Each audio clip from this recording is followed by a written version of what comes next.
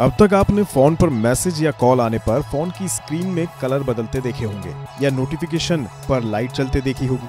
लेकिन दुनिया टेक्नोलॉजी के साथ भविष्य में कदम रख रही है और इस भविष्य की दुनिया में केवल फ़ोन की स्क्रीन पर कलर नहीं बदलेगा, बल्कि पूरा का पूरा फ़ोन ही कलर बदल लेगा। सुनने में थोड़ा साइंस फिक्शन मूवी जैसा लग रहा होगा आपको, लेकिन ऐसा सच में हो रहा है। दरअसल चीनी कंपनी वीवो एक नया कॉन्सेप्ट डिवाइस लेकर आ रही है। कंपनी ने फ़ोन के कैमरा और स्क्रीन में बदलाव करने की बजाय इसके डिवाइस में इनोवेशन किया है।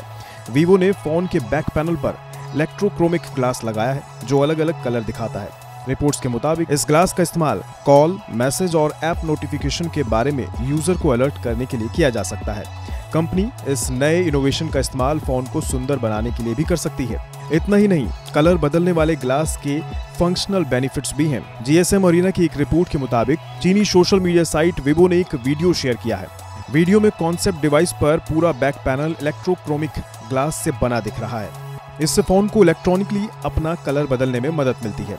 वीडियो में देखा जा सकता है कि नीले कलर के शेड वाला डिवाइस अपने आप सफ़ेद कलर में बदल जाता है। रिपोर्ट के मुताबिक, कंपनी शुरुआती तौर पर इसका इस्तेमाल नोटिफिकेशन फीचर के लिए कर सकती है। फ़ोन के कलर शिफ्टिंग नेचर का इस्तेमाल कॉल मैसेज ऐप नोटिफिकेशन और अन्य नोटिफिकेशन के बारे में यूज़र को सूचित करने के लिए भी किया जा सकता है। इसके अलावा इसे थीम के आधार पर कलर बदलने के लिए बनाया भी जा सकता है। गौर करने वाली बात यह है कि फ़ोन के पीछे केवल इसकी पारदर्शिता बदल सकती है, वास्तविक कलर नहीं। आपको बता दें कि वीवो पहली कंपनी नहीं है जो इस तकनीक पर काम कर रही हो। वन प्लस भी साल की शुरुआत में सीईएस 2020 शो में इस टेक्नोलॉजी का प्रदर्शन कर चुकी है। वन प्लस ने अपने कॉन्सेप्ट वन डिवाइस के लिए एक इलेक्ट्रोक्रोमिक ग्लास कवर डेवलप किया था। मैकलरन के साथ इसके लिए साझेदारी भी की गई। वीवो के विपरीत वन प्लस ने पूरे रियर पैनल की बजाय फ़ोन पर रियर कैमरों को छिपाने के लिए कांच की एक छोटी पट्टी का प्रयोग किया।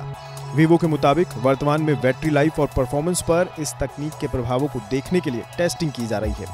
अगर सब ठीक रहा तो वीवो वास्तव में अगले साल तक प्रीमियम फ़ोन के साथ इस नई तकनीक को लॉन्च कर सकती है।